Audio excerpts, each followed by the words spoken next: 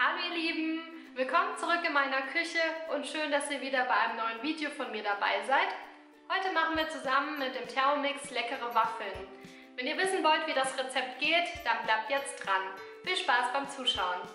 Für den Waffelteig benötigen wir folgende Zutaten. Butter, Eier, Zucker, eine Prise Salz, Milch, Mehl und Backpulver.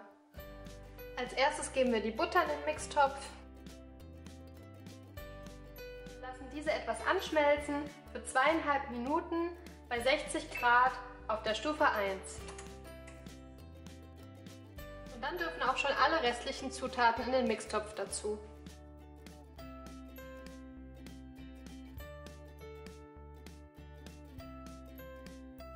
Und das verrühren wir jetzt für 20 Sekunden auf der Stufe 4. So sieht der Teig nun aus und den lassen wir jetzt für 15 bis 20 Minuten quellen, bevor es weitergeht. Der Teig hat nun für 20 Minuten geruht. Das Waffeleisen habe ich in der Zwischenzeit aufgeheizt und nun können wir den Teig zu Waffeln ausbacken.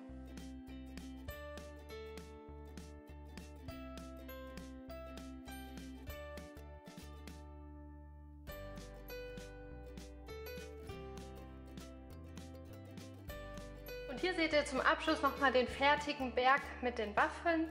Ich habe aus der Teigmenge 14 Stück rausbekommen und bei uns werden die am liebsten mit Puderzucker gegessen, deshalb gebe ich den jetzt noch drüber.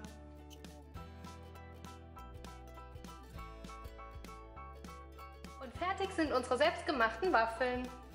Wenn ihr nun Lust bekommen habt, die Waffeln mal selbst nachzumachen, dann schaut wie mal unter dem Video in die Infobox, dort findet ihr das Rezept. Klickt gerne auf den Daumen nach oben, wenn euch mein Video gefallen hat. Und dann freue ich mich schon auf das nächste Mal zusammen mit euch in meiner Küche. Bis bald, eure Wanni.